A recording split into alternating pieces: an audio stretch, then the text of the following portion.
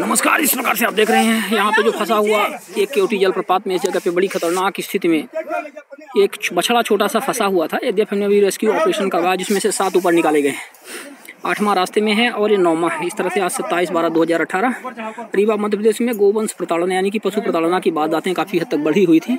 उसी के तहत विभिन्न घाटों, जलप्रपातों नहरों आदि में इस तरह से मवेशियों को गोवंशों को धकेला जा रहा है, विशेष तौर से गायें होती हैं, पशु क्रूरता की हद को पार करते हुए। यहीं पे आज तीसरे दिन सत्ताईस बारह दो हज़ार अठारह को देख देख सकते हैं किस प्रकार से ये कार्य चल रहा है।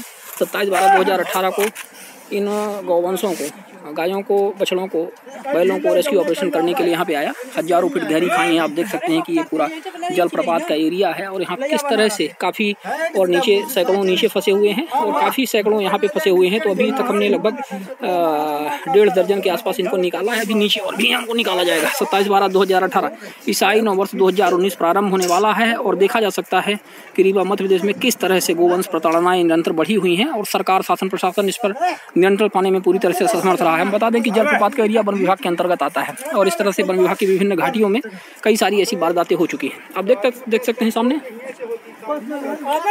सामने आप देख सकते हैं कि किस तरह से लोग इसको रेस्क्यू करते हुए रेस्क्यू ऑपरेशन में अपना है योगदान देते हुए। अरे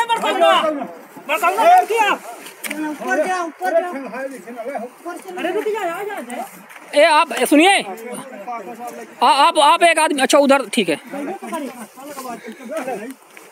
ए, एक हाथ में भी लगा लेता हूँ चलिए हाँ लीजिए। ये लो हाँ शाबाश। लो हाँ। ले ले ले। ये ये देखिए किस तरह से रेस्क्यू ऑपरेशन हाँ पकड़े पकड़े रहिए उसको। नहीं नहीं, यहाँ पे नहीं, यहाँ पे और ऊपर और ऊपर और ऊपर। हाँ कहीं कहीं गिर ना जाए, यहाँ पे खतरनाक है। तो इस तरह से इसको एक बहुत महत्वपूर्ण स्टेज स्टेज से इसको लाया गया है। और अभी एक उधर गाय भी है, इसको भी यहाँ से ऊपर ला करके निकाला जाएगा। कई दर्जनों लोग हैं, यहाँ पे दर्जन भर लोग जो इस रेस्क्यू ऑपरेशन में भाग ले रहे हैं।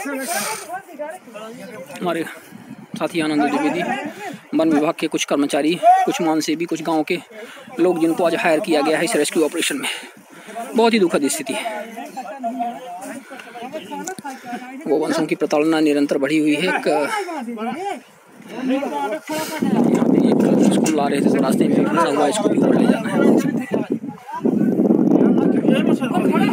हाँ चारों तरफ़ घाटियाँ हैं। बहुत गहरी घाटी है, हज़ारों फीट गहरी घाटियाँ हैं। क्योंकि का जलप्रपात काफ़ी खतरनाक माना जाता है। अभी भी देखिए किस तरह से रेस्क्यू ऑपरेशन चलता हुआ। हमारे जो साथी इसमें मदद करने के लिए आए हैं वो भी इसको निकाल रहे हैं। हम इसके पहले सात निकाल चुके हैं। ये चूँकि ये चढ़ पाने में असमर्थ था, इसलिए इसको इस तरह से निकाला जा रहा है। ऊपर इसको छोड़ दिया जाएगा और प्रयास ये किया जाएगा कि ये चल करके चल करके ये निकल जाए। वहाँ पे गाय भी है जो फंसी हुई है, उसको भी निकालने का प्रयास किया जा रहा है। लेकिन समस्या इस बात की है कि कहीं वो अभी बैठ ना जाए रास्ते में, क्योंकि बैठने के बाद में आप ऐसा करिए, अब इसको छोड़ दीजिए तो बताएँ। छोड़ दीजिए। हो गया, वो निकल जाएगा निकल जाएगा। हाँ तो ठीक है, थोड़ा थोड़ा थोड़ा सा ऊपर खींच लीजिए। चलिए। थोड़ा सा ऊपर इसको खींचा जा रहा है। देखिए कैसे हज़ारों फीट गहरी घाटी है। अमानवीयता की हदों को पार किया गया है। एक अमानवीय जिस तरह से कहते हैं कि मानवता भी शेष आदमी में रहती है लेकिन यहाँ पे लोगों ने पशु क्रूरता की हदों को पार कर दिया है।